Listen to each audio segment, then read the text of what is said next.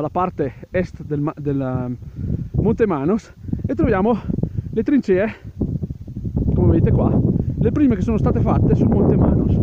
Perché durante la Grande Guerra il Monte Carden, nonché Cima Vesta, era troppo vicino al nemico che era posizionato a Vesta e non furono installate le trincee, furono installate subito dopo per la difesa del posto. E queste qui furono le trincee più avanzate che aveva l'esercito italiano verso la Val Vestino. Ormai ne è rimasto veramente un gran poco, però serviva per difendere la vetta del Manos, nonché la cima Iogonello, che resta lì avanti. Adesso purtroppo, causa le mie condizioni fisiche, non quelle del Zamba, torneremo e faremo il card la prossima volta.